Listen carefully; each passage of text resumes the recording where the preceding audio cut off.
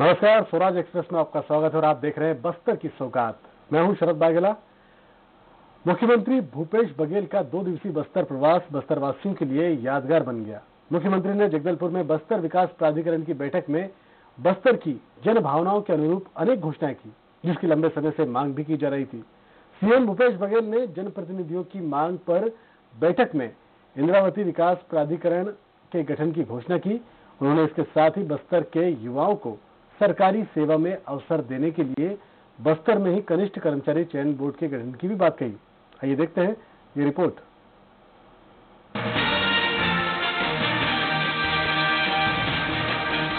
मुख्यमंत्री भूपेश बघेल ने अपने दो दिवसीय बस्तर प्रवास के दौरान स्थानीय लोगों के लिए सौगातों की बौछार कर दी।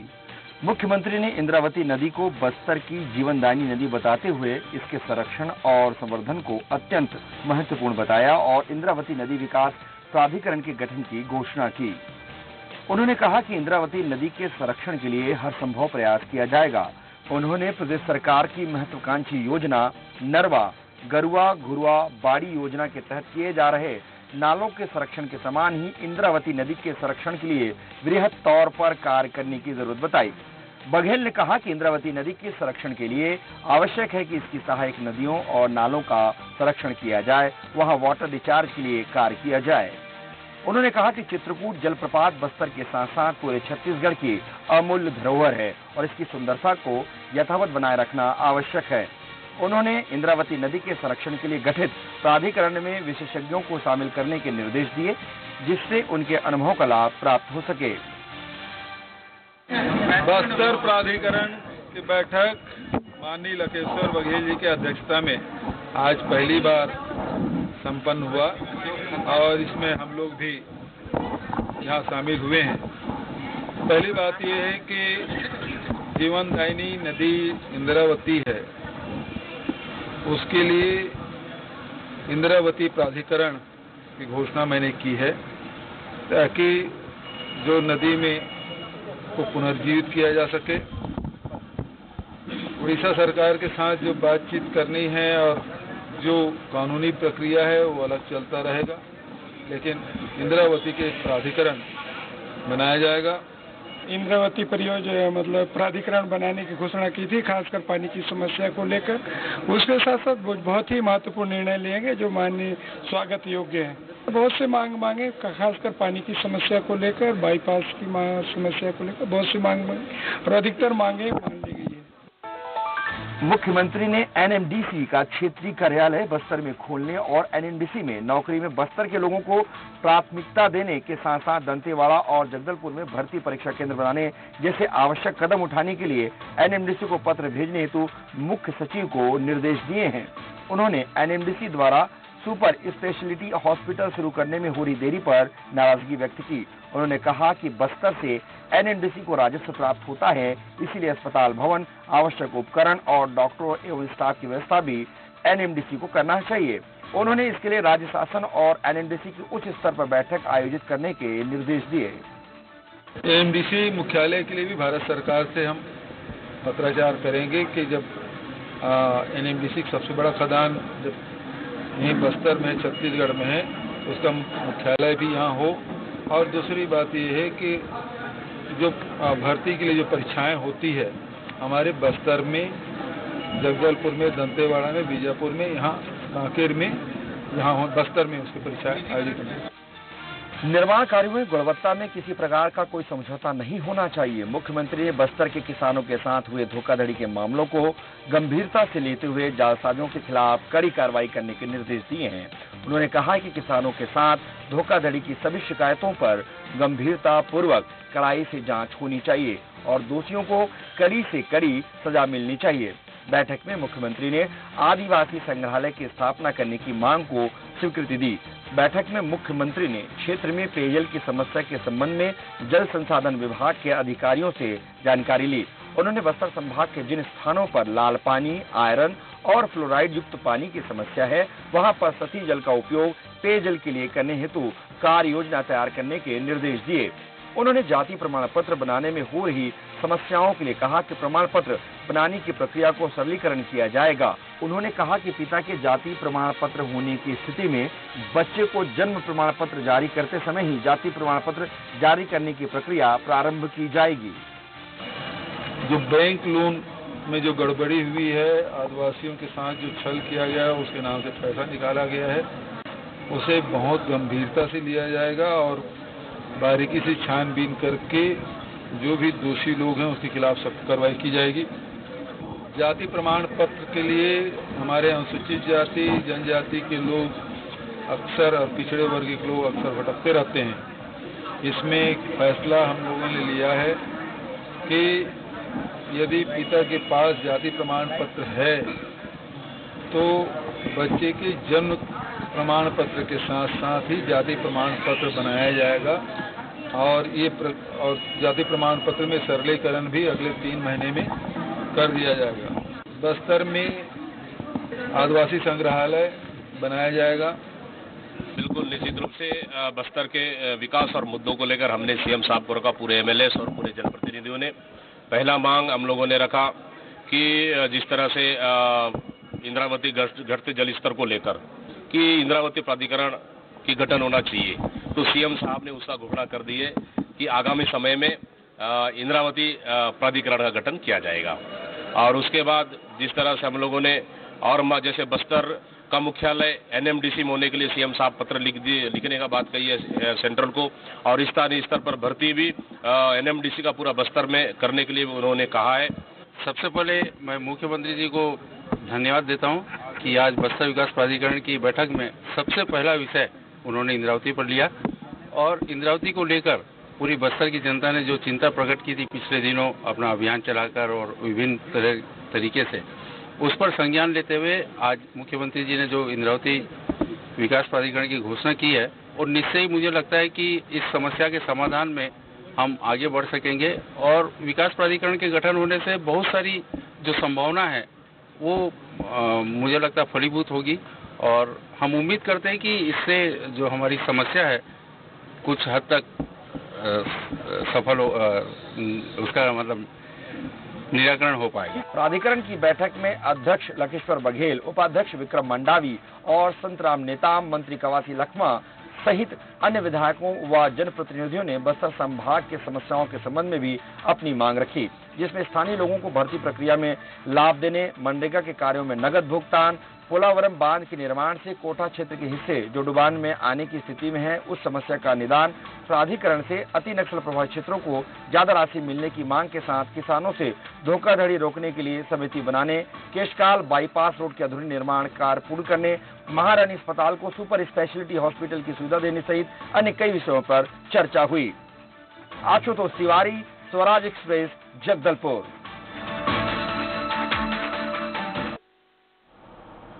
वन अधिकारों की मान्यता के क्रियान्वयन पर जगदलपुर में हुई कार्यशाला में सीएम भूपेश बघेल ने कहा है कि ये कानून उनके लिए बना है जो हज़ारों सालों से वनों की रक्षा कर रहे हैं।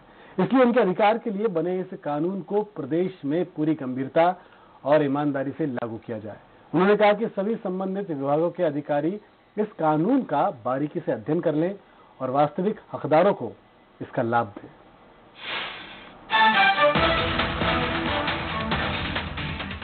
मुख्यमंत्री भूपेश बघेल ने वन अधिकार मान्यता पत्र वितरण पर संवेदनशीलता का परिचय देते हुए कहा है कि बड़े पैमाने पर वन अधिकार पत्रों को निरस्त किया गया है, जिसकी समीक्षा की ज़रूरत है। ग्राम स्तर पर ग्राम सभाओं में इसका परीक्षण किया जाए। उन्होंने कहा है कि सबसे पहले सामुदायिक वन अधिकार के प्रकरणों का निपटारा किया जाए। इससे व्यक्तिगत दावों में विवाद की गुंजाइश कम होगी। मुख्यमंत्री ने कहा है कि वनों में आदिवासियों के अलावा परंपरागत रूप से रहवासियों की भी संख्या अधिक है, लेकिन इन्हें वन अधिकार मान्यता पत्र कम संख्या में मिले हैं। इन्हें भी प्राथमिकता में रखते हुए मान्यता पत्र दिया जाए। वन अधिकार पट्टा का सही क्रियान्वयन नहीं हुआ। सामुदायिक दावा का निराकरण बिल्कुल भी नहीं हुआ। और अब ग्राम समितियाँ बनेगी। जो अधिनियम है, उनके अनुरूप वो समितियाँ बनेगी और उसके अनुरूप काम होगा, ताकि जितने भी हमारे आदिवासी हैं या परंपरागत रूप से रहने वाले लोग हैं, उनको वन अधिकार के तहत उनको पट्टा दिया जाए मुख्यमंत्री ने कार्यशाला में कहा कि अबुजमान एक ऐसा क्षेत्र है जहाँ किसी प्रकार का सर्वे भी नहीं हुआ है। यहाँ के रहवासियों को कैसे वनाधिकार मान्यता पत्र दिया जाए, इस पर गंभीरता से विचार किया जाना चाहिए। उन्होंने कहा कि अबुजमाड़ के रहवासियों को उनके द्वारा अनुमानित रकबा बताने पर तथा उनके द्वारा बनाए गए चौधरी के आधार पर वन अधिकार मान्यता पत्र दिया जाए। मुख्यमंत्री ने कहा कि वनवासियों को वनाधिकार मान्यता पत्र देने के साथ ही गाँव और वनों में ऐसी गतिविधियाँ संचालित की जाए, जिससे वनवासियों को लाभ मिले। माड़ में क्योंकि नामांकन नहीं हुआ, उसका कोई नक्शा नहीं है, लेकिन वहाँ लोग जो कब्जे में हैं, उनको भी इस अधिनियम के तहत उनको भी अधिकार पत्र मिला। इस मौके पर स्वास्थ्य मंत्री टी एस सिंहदेव ने कहा कि जल, जंगल, ज़मीन की प्रबंधन का अधिकार ग्राम सभा को दिया जाए। छत्तीसगढ़ के बीस हज़ार ग्रामों में वन भूमि अंकित है। उन्होंने कहा कि वन अधिकार पत्र उपलब्ध कराने की कोई अंतिम तिथि नहीं है। पात्र हितग्राहियों को वन अधिकार पत्र दिया जाए। सीधे ने कहा कि पेशा कानून के क्रियान्वयन के लिए नियम बनाए जाएँगे और विधानसभा में पारित कराकर इसका बेहतर क्रियान्वयन किया जाएगा। आदिम जाति विकास मंत्री डॉक्टर प्रेम साय सिंह टेकाम ने कहा है कि वन अधिकार पत्र अधिनियम की जानकारी देने के लिए प्रत्येक ज़िले में कार्यशाला का आयोजन किया जाना है। मुख्य सचिव सुनील कुजूर ने कहा है कि वन अधिकार पत्र देने का काम राज्य शासन का है। शासन द्वारा आदिम जाति विकास विभाग को इसके लिए नोडल विभाग बनाया गया है। वन अधिकार पत्र के आवेदनों को ग्राम सभा में पारित कराकर स्वीकृति के लिए भेजा जाए। ग्राम सभा द्वारा किसी भी आवेदक के प्रकरण को निरस्त करने का प्रावधान अधिनियम में नहीं है। कार्यशाला को वन विभाग के अतिरिक्त मुख्य सचिव, सी के खेतान सचिव, डी डी सिंह, आदिम जाति विकास विभाग के आयुक्त अलेक्स पॉल मेनन, मुख्यमंत्री के संसदीय सलाहकार राजेश तिवारी ने भी संबोधित किया और वन अधिकार के अधिनियम के प्रावधानों के बारे में बताया। आशुतोष तिवारी, स्वराज एक्सप्रेस, जगदलपुर।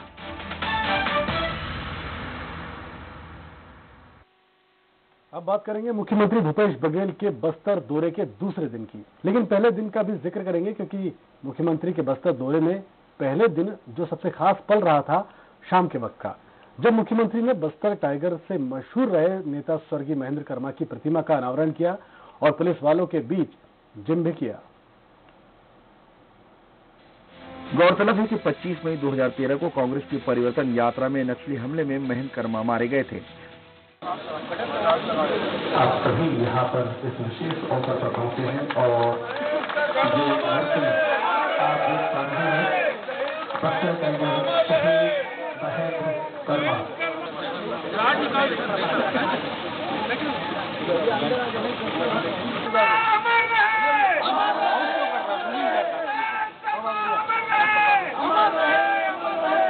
गगन भेदू नारों के साथ ये वातावरण बड़ा खुशनुमा हो गया है जायमान हो रही है और सभी पुष्पहार समर्पित कर रहे हैं इस दिव्य आत्मा के प्रति अपना सम्मान प्रकट कर रहे हैं। पुष्प वर्षा के साथ पुष्प की पंखड़ियों से जो यादें स्वर्गीय महेंद्र शर्मा हमारे बीच छोड़ गए हैं। उनके साथ मुखरता को लोभा लेने वाले श्री महेंद्र शर्मा हमारे बीच नहीं है। शिव लहरिया मंत्री श्रम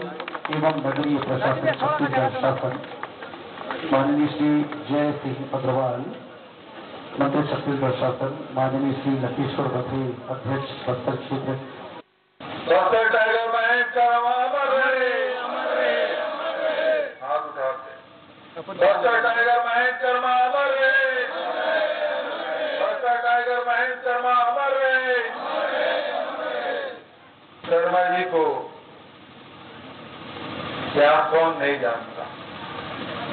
चाहे वो आदिवासी हो गैर आदिवासी हो, व्यापारी हो, नौजवान हो जब तक महेंद्र शर्मा जी थे, लोग ये विश्वास करते थे कि हमारा संरक्षक है। उनके रहते बस्तर का हित नहीं हो सकता। वो है हम सब महफूज हैं सुरक्षित हैं।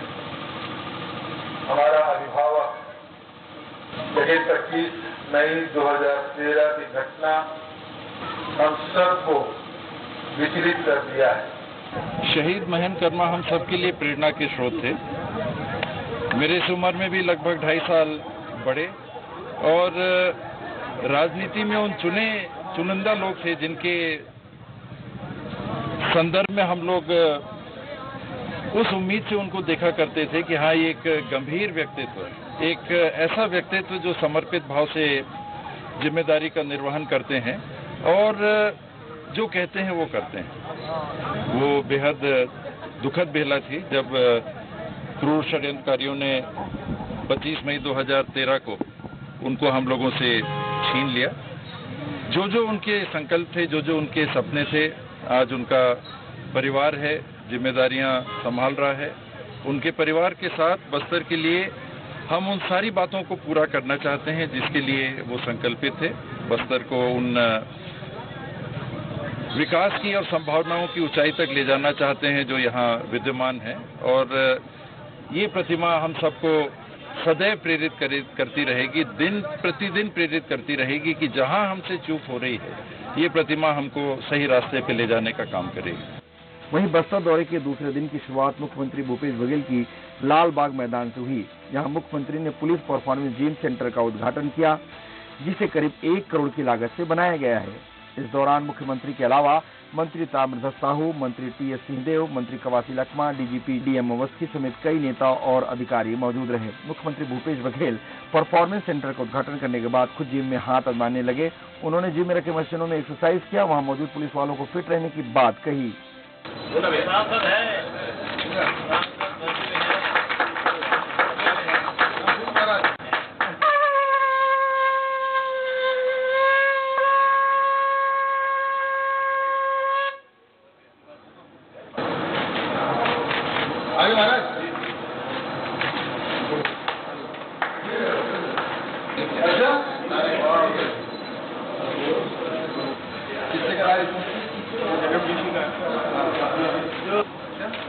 का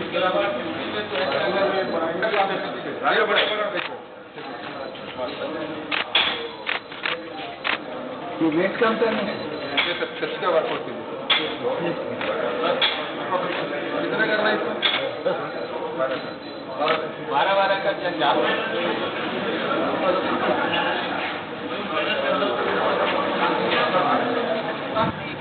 आ रहा है जो यहाँ से छत्तीसगढ़ से बस्तर का जो आठ फॉर्म है।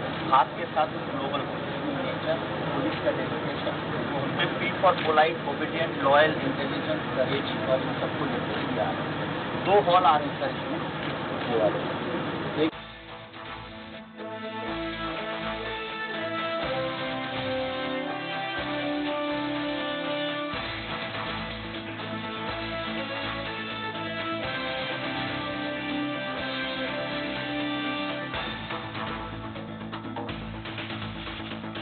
मुख्यमंत्री भूपेश बघेल नक्सल, हिंसा पीड़ित परिवारों से न सिर्फ़ मिले, बल्कि उनके परिवारों में शिक्षित लोगों को उन्होंने नौकरी भी दी।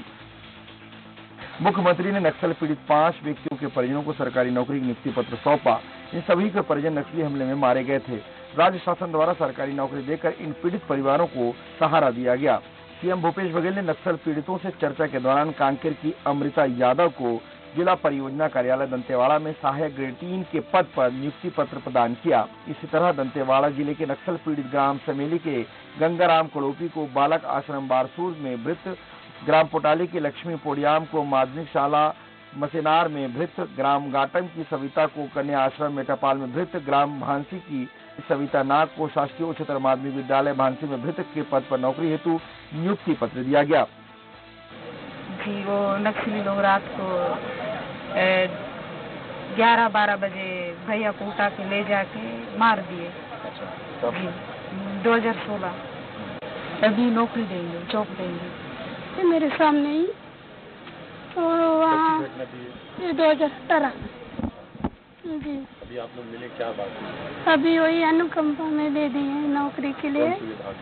प्यून में? दिए अभी कैसे गुजारा हो रहा था आपका? बहुत तकलीफ़ में जा रहा था सर। फिर पहले वाले कलेक्टर मेरे को टेलीविज़न में रखे थे। कलेक्टर ऑफ़िस में करती थी जो।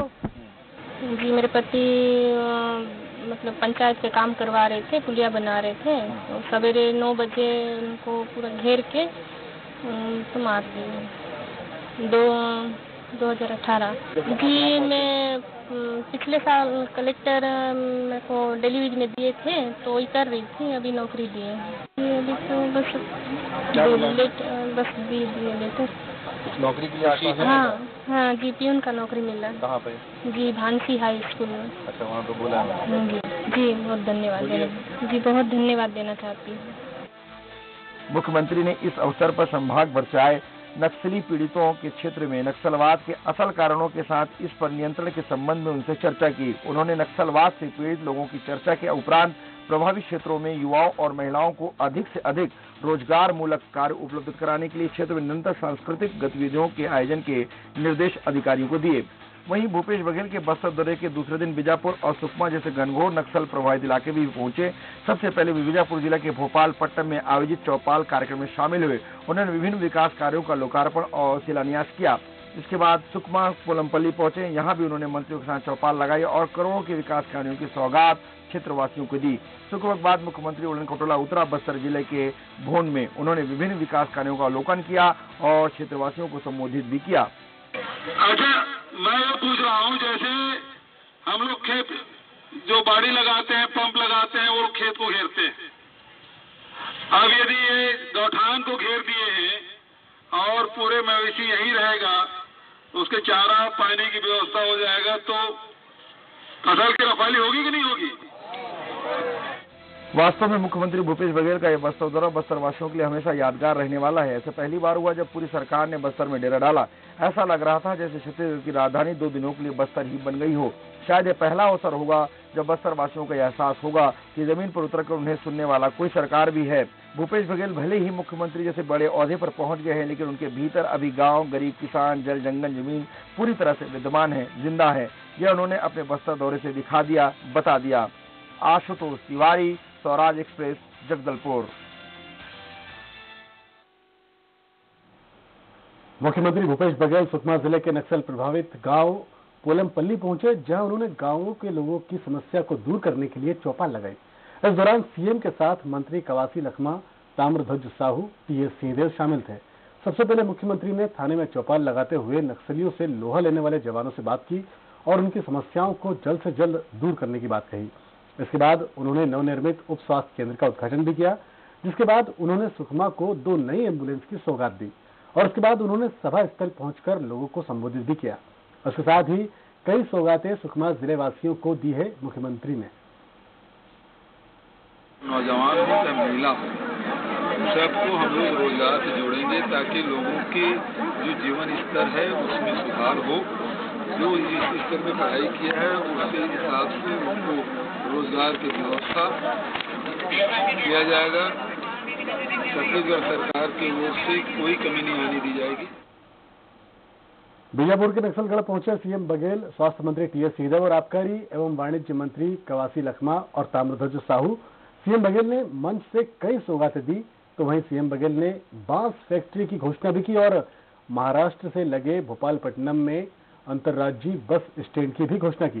सीएम बघेल ने बीजापुर ज़िले के 34 करोड़ के विकास कार्यों का भूमि पूजन भी किया। क्षेत्र के किसानों की आय में वृद्धि के लिए सोलर पंप और फेंसिंग तार अनुदान की भी घोषणा की।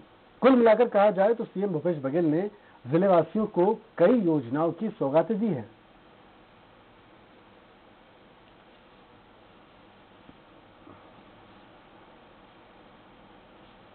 मुख्यमंत्री भोपालपट्टनम में श्रम आगमन हुआ, जिसमें बड़ी खुशी है कि प्रत्येक यहाँ विभिन्न निवासरत समाजों से मिले हैं, जिसमें हम भी सर्वादिवासी समाज के जिलाध्यक्ष के से प्रतिनिधिमंडल द्वारा से मिले हैं।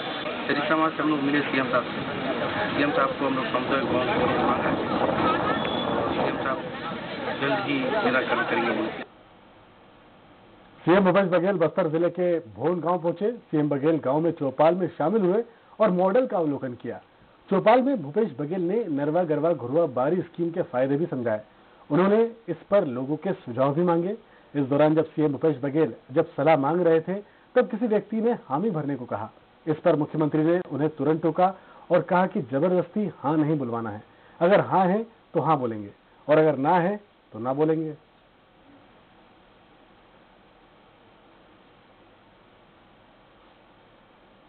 सीएम भूपेश बघेल दो दिन के दौरे पर जगदलपुर पहुँचे।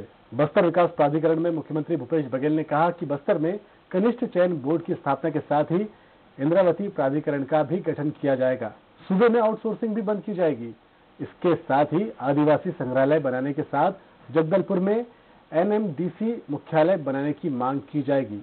बैठक में प्रदेश के वित्त मंत्री शिव डहरिया, जयशिव अग्रवाल स्कूल शिक्षा मंत्री प्रेम शास्त्र के प्रभारी मंत्री कवासी लकमा बस्तर सांसद दीपक बैज मौजूद रहे।